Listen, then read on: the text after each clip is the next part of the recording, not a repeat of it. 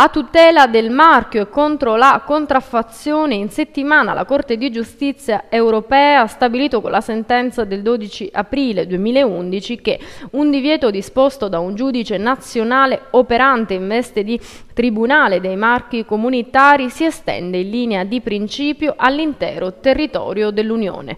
A questo proposito Valentina Marcella ha intervistato l'avvocato Laura Turini, esperta nel settore brevetti e marchi contro la contraffazione la tutela del marchio da parte di un giudice nazionale che opera in veste di Tribunale dei marchi comunitari si estende a tutti gli Stati dell'Unione Europea e dunque la misura coercitiva da lui disposta in applicazione del proprio diritto nazionale produce effetti anche negli Stati membri diversi da quello cui appartiene. Lo ha deciso la Corte di Giustizia dell'Unione Europea con la sentenza C23509 del 12 aprile 2011. Il caso è quello della società Chronopost SA, titolare del marchio comunitario e francese Web Shipping, depositati nel 2000 relativi ai servizi di logistica e di trasmissione di informazioni per la gestione di servizi di Corriere Espresso. Nonostante ciò, la DHL Express France SAS ha utilizzato il medesimo termine per un proprio servizio. Siamo in linea con l'avvocato Laura Turini, esperta nel settore brevetti e marchi. Avvocato Turini, questa pronuncia accresce ancora di più le tutele contro la contraffazione? Sì, questa tutela è molto importante perché di fatto in Italia, così come come in ogni Stato europeo, c'è una doppia protezione per i marchi, nel senso che il titolare di un marchio può ottenere sia un marchio nazionale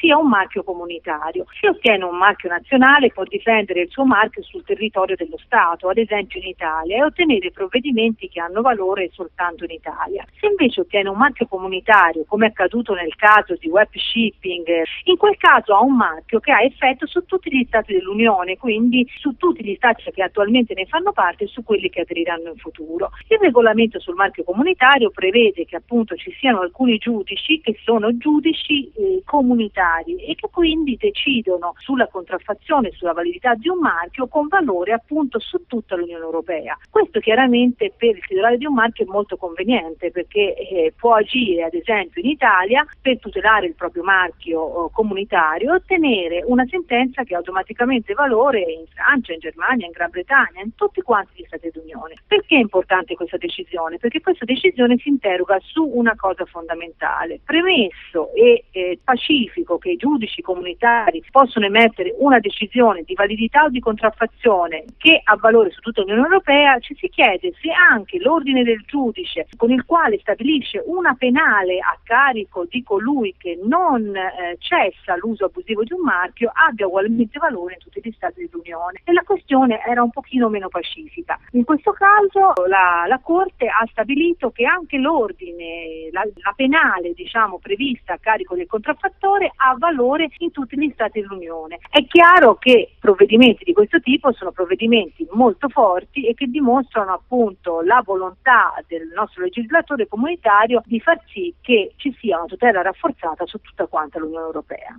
Dalla Corte di Giustizia europea ci spostiamo in Francia. In settimana tra le proteste è entrato in vigore il divieto di burka nei luoghi pubblici, una legge che ha suscitato un acceso dibattito in terra d'Oltralpe ma anche in tutta Europa. A questo proposito Ivano Stapciuk ha intervistato Khaled Fouad Allam, docente di sociologia del mondo musulmano presso l'Ateneo di Trieste.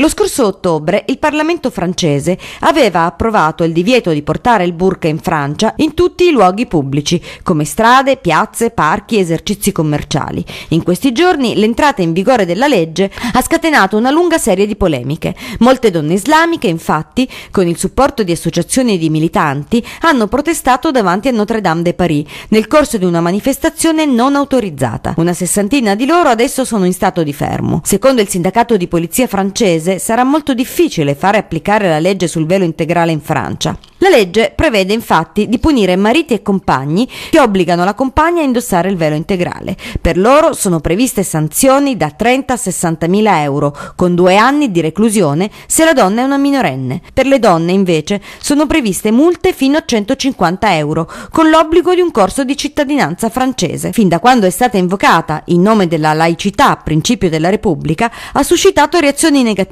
non soltanto fra i musulmani, ma in gran parte delle comunità religiose che sono anch'esse colpite dal divieto di ostentare simboli di appartenenza. Ne abbiamo parlato con Khaled Fouad Allam, sociologo e docente di sociologia del mondo musulmano presso l'Ateneo di Trieste. Ci sono molte proteste e molte polemiche adesso in Francia per quanto riguarda la legge francese sul divieto di burka, ma è davvero così necessaria in uno Stato laico? È evidente comunque che la questione dell'Islam è una questione che oramai fa parte della dimensione delle politiche europeo, nel senso che si pone il problema di integrazione e la visibilità dell'Islam attraverso le moschee o il velo pone un reale problema. È evidente che molti musulmani sono divisi perché alcuni dicono che il fenomeno è talmente marginale che non ci servirebbe una legge per impedire l'uso delle leggi, però una, una specie di educazione che, fa, che, aiuterebbe in un certo senso all'emancipazione delle donne. Invece altri eh, dicono l'esatto contrario, che attraverso la questione del velo io intravedo soltanto la grande, la grande interrogazione dell'integrazione delle comunità musulmane nel disegno europeo. Ecco, ma al di là della, uh, dell'emancipazione della donna, veramente, eh, come dire, l'integrazione può passare attraverso un, uh, un simbolo che è più un simbolo sociale? Non c'è nessun versetto nel testo coranico che afferma che il velo sia un simbolo religioso, è un'invenzione ecco, che hanno fatto le società musulmane di fronte alla problematica del loro statuto in situazioni di minoranze. Sono favorevole in un certo senso al divieto del burqa, non del hijab, che è un'altra cosa, del velo integrale, perché in realtà lega un, uno dei principi fondamentali dell'Unione Europea, che è quello della coesione sociale e dell'eguaglianza. Il Dipartimento di Giustizia statunitense ha dato il via libera a Google per l'acquisizione di ITA Software, società che si occupa del settore dei biglietti aerei. Vediamo i particolari nel servizio di Laura Muzzi. Semaforo verde per il decollo di Google. Il colosso di Mountain View punta in alto nel vero senso della parola e si appresta ad acquisire la ITA Software che permetterà la prenotazione e l'acquisto di biglietti aerei online a prezzi scontati. Il via libera è arrivato dal Dipartimento USA la Giustizia che ha così autorizzato Google a procedere con l'acquisizione multimilionaria. La ITA Software è una start-up con sede a Boston che si occupa del settore dei biglietti aerei. Il Dipartimento di giustizia statunitensi ha però imposto all'azienda di Mountain View una serie di regole, la cui osservanza sarà fondamentale per decollare nell'ormai vibrante settore dei biglietti aerei e delle informazioni pratiche di viaggio. Google rimarrà dunque sotto stretta sorveglianza, monitorata dal Dipartimento di Giustizia sull'effettiva implementazione dei termini stabiliti dall'accordo. Il colosso del search dovrà innanzitutto continuare a licenziare la tecnologia sviluppata acquistata da ITA, il software QPX, mettendola così a disposizione per un periodo di 5 anni in maniera non discriminatoria. Al software continueranno ad avere accesso società rivali come Kajak.com, Expedia e Fairlogics. Varie aziende specializzate si erano infatti riunite nel sito web firstsearch.org esprimendo la più allarmante preoccupazione a seguito dell'acquisto da 700 milioni di dollari. Google si sarebbe ritrovata in sostanza a dominare l'intero settore, avendo accesso esclusivo ad un software, appunto quello di ITA, che ha finora alimentato gran parte della concorrenza, Bing compreso. Stando ai termini dell'accordo annunciato dal Dipartimento di Giustizia, Google dovrà comunicare eventuali lamentele ricevute, in particolare legate ad eventuali declassamenti della concorrenza nelle classifiche del ranking sul suo motore di ricerca. Inoltre è obbligata ad erigere delle misure di sicurezza che prevengano lo sfruttamento non autorizzato di informazioni relative alla concorrenza, oltre che dei dati appartenenti agli utenti di ITA. I legali di Expedia hanno sottolineato in una nota come le autorità statunitensi rimangano comunque preoccupate per l'accresciuto potere di Google sull'intero ecosistema della rete. Berlino, estradizione, mutua assistenza giudiziaria e confisca internazionale dei patrimoni criminali sono questi i punti principali discussi in settimana nell'asse Germania-Italia. Ci dice tutto nel suo servizio Valentina Marcella.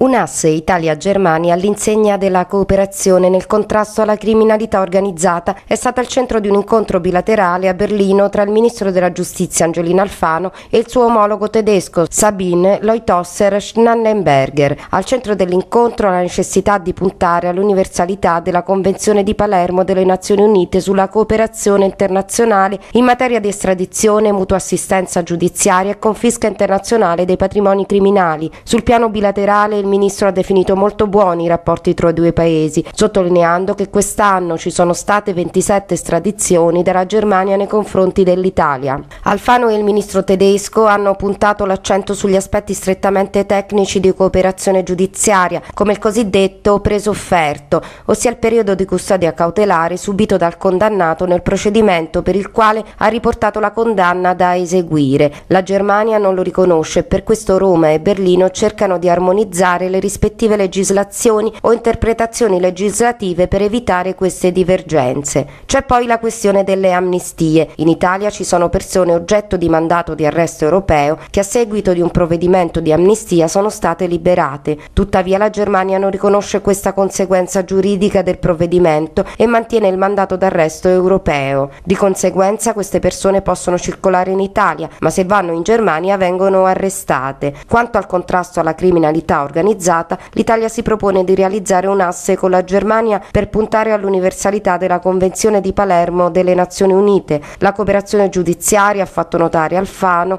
è uno dei temi di fondo che si affronta dentro il Consiglio dei Ministri di Giustizia europei e quindi un rapporto forte con la Germania da questo punto di vista è assolutamente importante.